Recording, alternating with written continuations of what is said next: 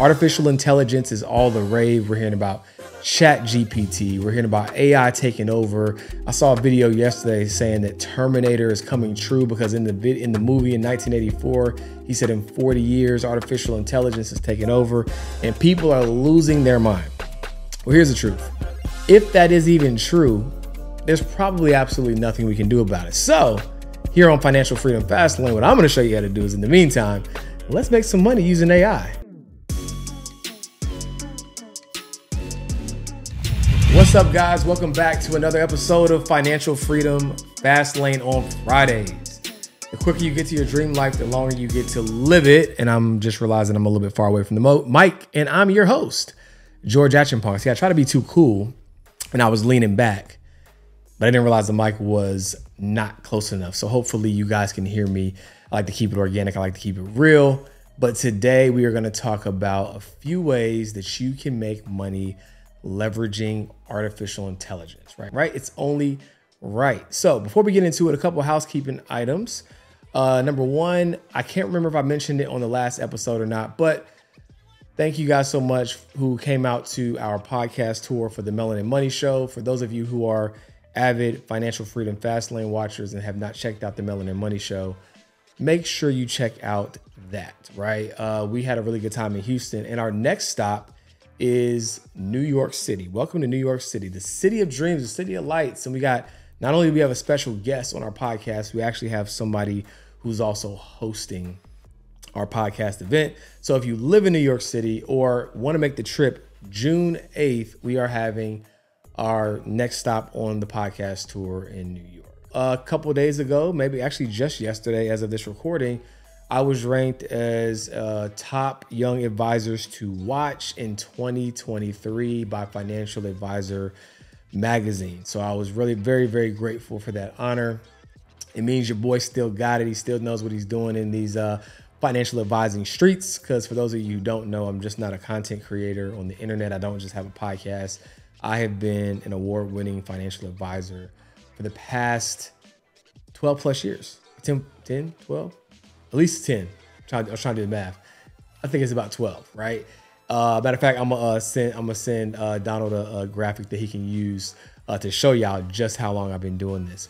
But yeah, guys, I've been a financial advisor for quite some time, and because I wanted to help more people, that's why I create the content. That's why I have a podcast, and that's why I do what I do.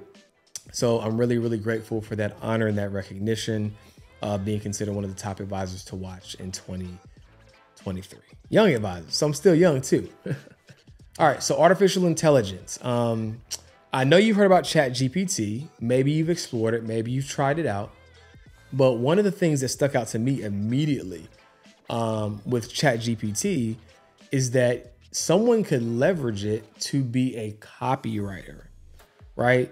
Um, copywriters make very great money. As a matter of fact, I have a copywriter uh, for my company. Shout out to Aquania. She's amazing at what she does. If you've ever gotten an email from us in the past year, it probably was curated by her, right? So copywriting can be a very lucrative skill set because it ha- has to be good, right? Has to convert. But by using Chat GPT, you could very well easily be a copywriter uh, for a business. You could offer email copywriting, say, hey, look, I'll write 20 emails a month for you for this flat rate. Um, you could be a copywriter for sales pages on websites. Hey, I'll write highly converting, highly engaging sales copy for your website. How do you know that you can do that? Because you can go over to Chat GPT and create the prompt. Create a highly engaging sales page for insert whatever the niche is, insert whatever the business is, right? So, copywriting is most certainly a way to make money with AI. You might be saying, well, everybody knows about AI. Everybody knows about Chat GPT. No, they don't, right? And even for those that do, they understand that they might not have the time to, let's take copywriting, for example. Even if I could use Chat GPT to write my own copy, am I still going to be the one to schedule the campaigns, make sure they get sent out, make sure I'm troubleshooting them, assign them to the right segments? It still takes time to manage it. So at the very minimum, what, what somebody might want is like, hey, look, can you like create my, you know, at least create my copy, um, and then maybe I have like a VA internally manage the process. You follow what I'm saying? So like don't think just because that it is simple and it is automated and it can be done at scale that everybody's going to take the time to learn it and do it because they're not. That's with everything. At the end of the day, when at the invention of Google, right, and YouTube, what you're watching this on, people can learn how to do a variety of things, but it doesn't mean they want to spend the time doing the thing. Convenience is a tax on the lazy, and sometimes that's a good tax. I am lazy about wanting to fix my car, change uh, uh, change my tire. I'm lazy about uh, putting stuff together in my house. I'm lazy about clean. Like I don't want to do any of that, right? I don't even know if I would call it lazy. I just understand the value of my time, and it doesn't make sense for me to do it when I can outsource it. And people understand that, and they're willing to pay a premium for that if you do a good job. So consider copywriting as a skill that you can leverage artificial intelligence uh, artificial intelligence for to start making money. Another one is using AI to write audiobooks, right? There are so many people who have already written books, but only a fraction of them probably have audiobooks, right? Because especially if the author had to read it, because maybe like the author was like, I would do audiobook, but I don't want to outsource it. I want it to sound like me. And I don't got the time to read my 500 page book for audiobook. So I'm not going to do it, right? But if you can use a software that can regenerate their voice that's pretty close, right, to how they sound and replicate it, now what you could do is say, hey, I will write your audiobook for you in your voice. All I need to do is X, Y, and Z to get your audio sample, and it'll sound whatever the percentile is, right? Like it'll sound just like you. Now you can go to all these people who are authors and offer a supplemental service for a product that they already have and maybe would like an audiobook for. Again, you're probably thinking, well, if I can do this, why wouldn't they just do it themselves? But the entire economy is based upon the middleman, right? Someone who wants to build the thing, someone who wants to buy the thing, and the person in the middle who connects to. It's arbitrage. So while you're thinking that they will just cut you out and want to do it themselves, they don't even want to own that little process of knowing what it takes to produce that audio book. What is the the right software that's going to do it? What audio sample do I need to have in order to, or how many audio samples do I need to have to make my voice sound as close as possible, right? Those are things that you're going to research, right, in order to be able to be that middleman and broker that. You didn't have to write the book, but now you provide a service that can facilitate creating that audio book, right, relatively streamlined. So consider creating audiobooks for people who are already authors and don't currently have them and want their book read in their voice. All right, creating digital products. This is probably one of the easiest ones, right? You literally can, and Chat GPT is not the only tool, but you can ha- hop on Chat GPT or another tool like it. you can say, write Chat GPT, uh, create an uh, ebook and a nutritional guide that helps people uh, lose weight or something. It doesn't matter, right? Get as specific and creative as you want. Now you can have a low ticket ebook on your fast track 10 steps to losing 20 pounds before summer. Whatever, right?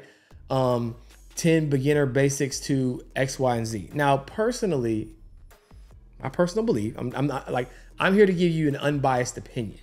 I'm not here to say that I would do it or that even that you should. I'm just making you aware of things that you can do so that you don't have any excuses.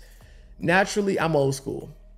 So for me, if I were to leverage AI um, for anything in terms of like digital uh, digital products, it's just going to be to accelerate my output for something I'm already an expert in. Right? If I don't, if I'm not an expert in fitness, I'm not going to create an ebook on fitness using ChatGPT. Right? But if I'm an expert in personal finance, wealth building, and entrepreneurship, I can use my creative brain based upon all the things that I've done in this space and my expertise to create, to ramp up my creative output, right? In order to produce more content, to create those ebooks, and then go in there and put my own sauce and my own spin on it, right? If you don't know anything about the subject, would I do it? No. Could you do it, technically speaking? Yes. But the other caveat is you still got to sell it right? So if you don't work out and you try to create an ebook on losing weight, good luck. Here's another idea I just I thought of in real time. You can go to uh, thought leaders, consultants, coaches, etc., who maybe have a service based business and don't have a digital product and say, hey, look, I can create a ebook for you in 24 hours that's specified to your niche that you can start selling and to supplement your income alongside of your service-based business. Because believe it or not, a lot of people, entrepreneurs who are busy, they've been sitting on courses or books or ebooks or guides for a while, even though they have the expertise. So you can figure out a series of questions that you can ask from them so that the ebook will sound like it's in their tone. You know the exact types of things they cover. Um, and the truth be told, here's the real truth. The truth be told, because it's AI in the first place, and it's not going to take you a lot of effort to get it done, you could probably do some preliminary research for a thought leader say, hey, I did some research on your area of expertise. I saw that you have a service based business, and I think you'd be a great person to start selling a ebook on what you do so that you can scale your offer and help uh, more people. I actually went ahead and took the liberties and took up and created a first draft for you. If you like it, you can buy it from me, uh, buy the rights from me, right? All you got to do is sign this little agreement. It's yours. I'll sign over the rights to the intellectual property.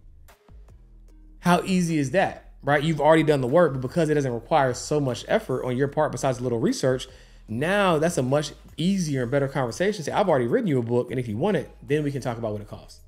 Powerful, right?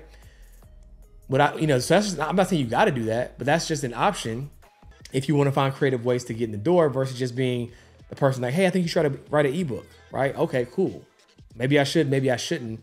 That may or may not get you in the door, but if you come with value for something that didn't really require much effort on your part to create, you might increase your odds of them actually wanting to buy from you. All right, and one more way that you can make money using AI is being a research assistant for a content creator, right?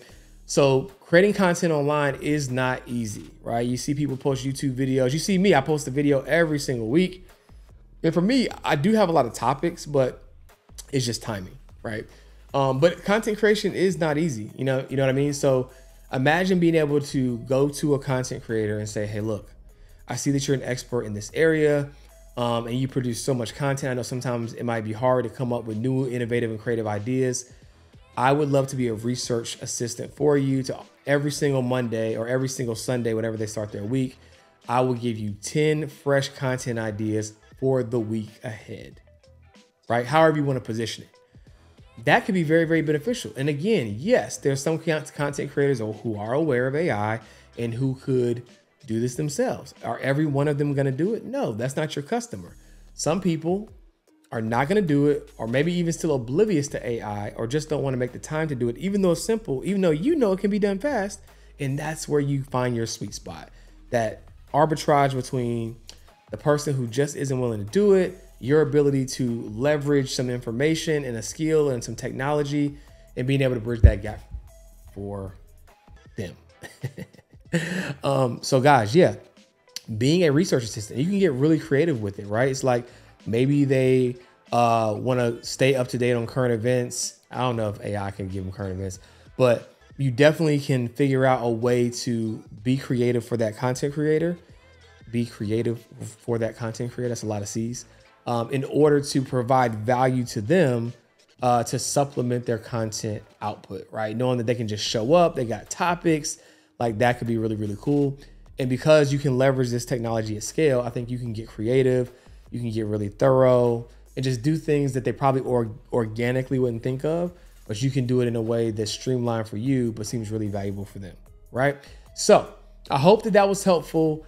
Four easy ways that you can start making money in artificial intelligence right now let me know if you're going to try any of these out. Let me know some other ways that you've thought about making money with AI. And of course, as always, make sure that you like, subscribe, and share this episode if you find it valuable, right? And I will see you next week. And as always, Financial Freedom Fast Lane. As you know, financial freedom is for sale. All you have to do is be willing to pay the price.